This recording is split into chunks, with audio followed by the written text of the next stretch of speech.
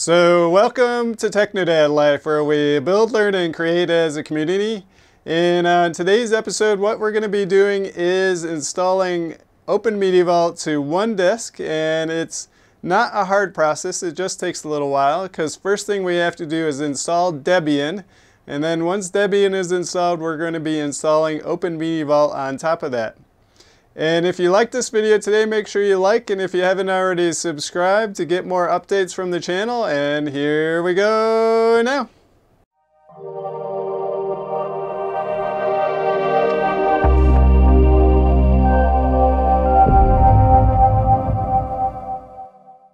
And a special thanks to all my patrons who without your support this channel would not be possible. And if you haven't already, please think about becoming a patron, and supporting the channel you love. Thank you. Okay, so what we're going to do, first thing is to download the Debian image. And so go to debian.org distributions, download an installation image. And then we're going to do this for AMD 64. So we're going to click on that and that will download. The next thing we want to do is download Balena Etcher and this will burn our image to our USB drive. And so the first thing we're going to do is open up Balena Etcher, click Select Image, find the Debian 10 uh, net install that you downloaded, insert your USB drive, and then click Flash, and then that will write that to disk. And Balena Etcher automatically ejects that, so once that's done, just pull that out. And then once that's pulled out, and we're going to need one other thing here, and so we're going to go to GitHub to the Open Media Vault plugin developers install script, and I will leave a link to this down below. And we're going to do two things once Debian is, in, is installed. So from our terminal, we're going to type in apt-get install wget sudo. And then once it installs wget, then we can download the script and execute it. And we can do this two ways. We can uh, type this directly into our terminal attached to our server, or we can use PuTTY to uh, copy and paste this into a terminal window. Once you start up your computer, you'll get to this screen, and so we're going to do graphical install, so hit enter. Next, pick your language, and then hit enter to continue. Your country, keyboard, and then change your computer to whatever you want it to be called and hit continue and continue. Now put in a password, write this down, this is your root password. And then create a new user and you can just put in your name and enter and then put in a password for your new user and then hit enter and your time zone and so we just have one disk, so we're going to use our entire disk and hit continue. And how we're going to do this is we're going to go to separate home partition, then hit continue. And then here you can see our primary where our Open Media Vault is going to be installed is going to be 16 gigs. And then our partition, which is where we're going to have everything else is going to be 30 gigs and then hit continue. And then you have to tab down to yes and then hit enter. And then that will format that disk and then install. And no, we don't want to insert another CD, so we're going to hit enter. And then we, our mirror for us is the United States. Pick the closest one. And Debian.org. And no proxy. And then we're going to click no and hit continue. And so here all we want are a couple things. We do not want the Debian desktop. So we're going to uncheck that. And we are going to check SSH server. And then we're going to hit continue. And then hit yes. And then pick your disk. And then uh, once your installation is complete, uh, pull out your USB drive and then hit continue.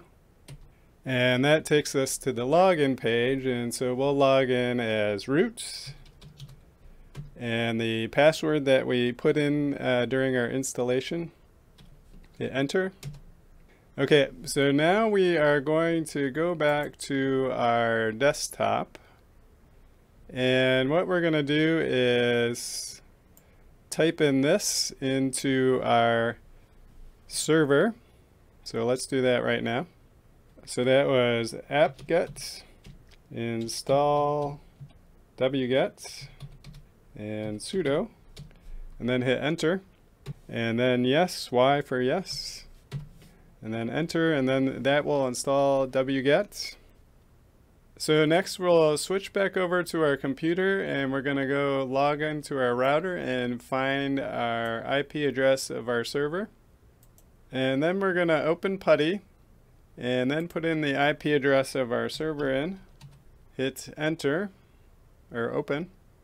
Log in as root and then your password. And so next what we're going to do is go over to the install script page.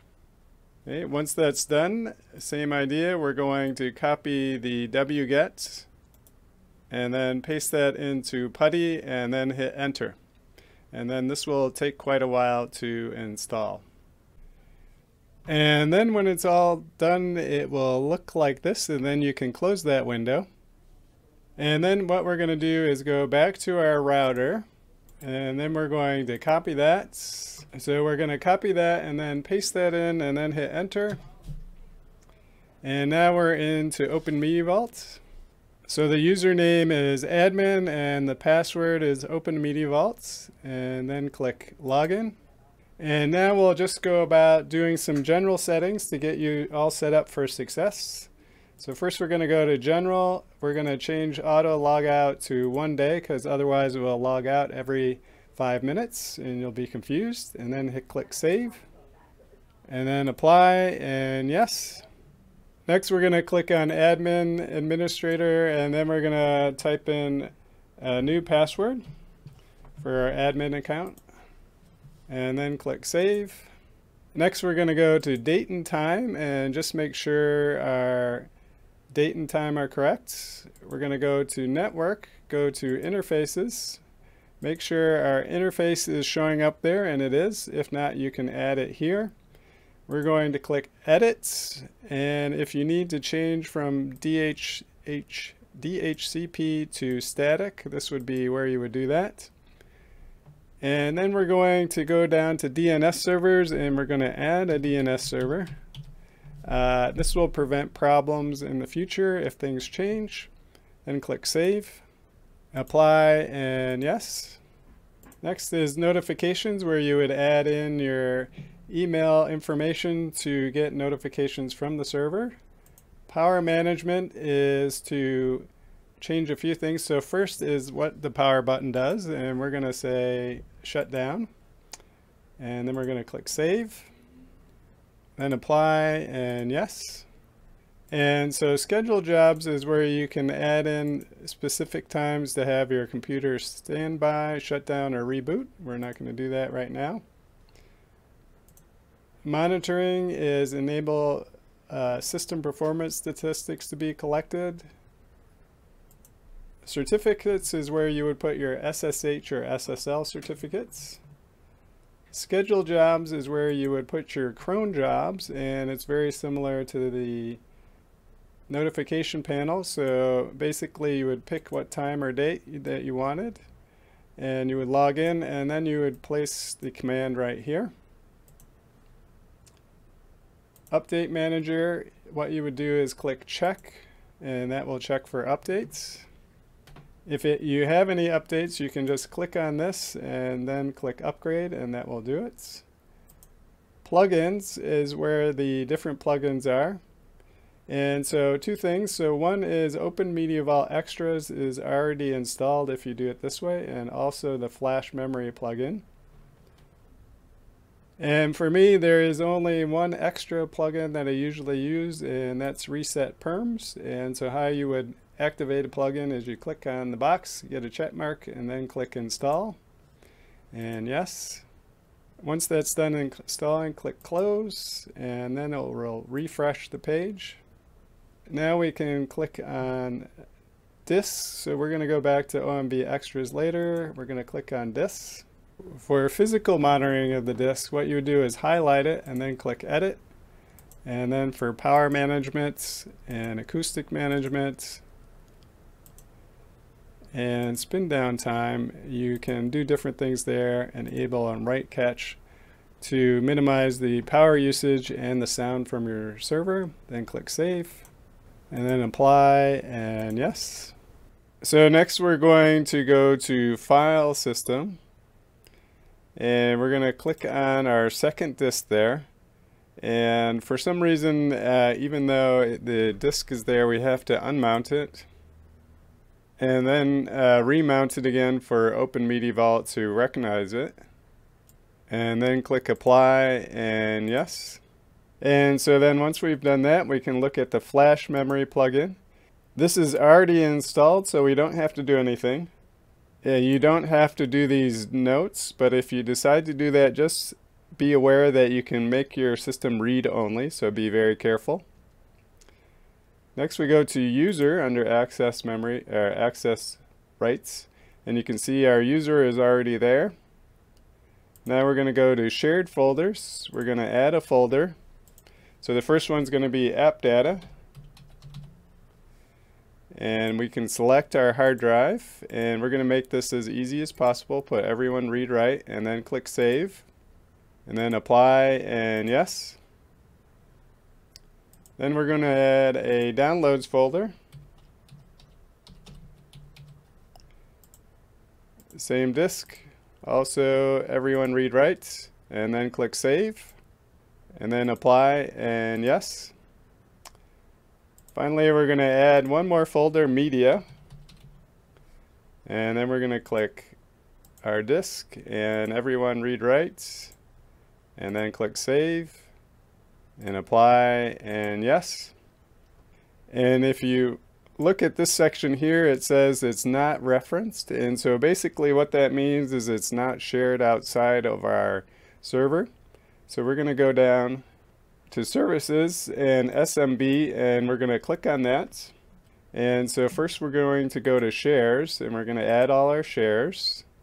So we click the down arrow, there's our app data and we want this to be have guests allowed. And enable permission inheritance and then click save. Apply and yes. Next we're going to add in our downloads folder. Same thing we're going to say guests allowed and enable permission inheritance and click save. Then apply and yes. And then finally we're going to add in our media folder. Again guests allowed and enable permission inheritance and click save. Apply and yes so now we've added our shares to Samba, but now we have to actually start Samba. And so when we start Samba, then our shares will be able or be readable on our network. So first thing we want to make sure of is that our group is the same as on our network. So basically Windows machines, they use workgroup and that's already enabled. The only other thing we have to do is click enable here and then click save. Then apply and yes.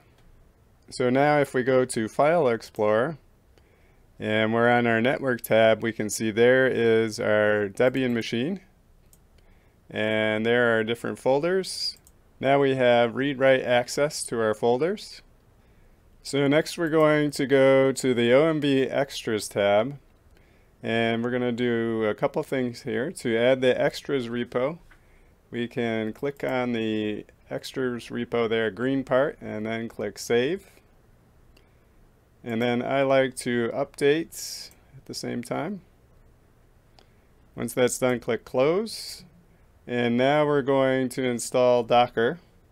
And so you, here you can see this is where Docker is going to be installed. We need to press this button and then it, when we're done it will show the install status there. So we're going to hit install. Once that's done click close and so that has installed the command line Docker. Now we have two choices here. So we have Portainer so Portainer and cockpits are GUIs or graphical interfaces to Docker. And so Portainer is strictly for Docker and has more options. Cockpit does Docker, but it also does virtual machines and can do other things with your system. Uh, for most people, what they'll need is just Portainer. You can install both, but you have to actually stop one or the other and able to use, uh, at least what I've seen, to use uh, Docker on either one. So you have to have only one running to use Docker on it. And so for this tutorial, we're just going to install Portainer, which is what most people will need. So we're going to click on Install Portainer. And this should go very quickly because we've already installed Docker. So Portainer itself is actually just a Docker that runs in Docker. Once that's done, click Close. And there you can see the it's up for three seconds. And then we can click on Open Portainer to open the web interface. And to start off with, you need to make a password. Then click Create User. Next you want to click on local and then click connect. And now we're in the Portainer GUI and then click on the local tab there. And now we have our container management. If we go over to containers, this is where we can add or remove containers for Portainer. And I have a separate video on that if you'd like to see that, how to do that. So that's it for today. I hope you found this video helpful. If you did, make sure you give it a like and subscribe. If you want future updates on other videos about Open Media Vault and Portainer and other computer related topics. And otherwise, you have a great day. Bye-bye.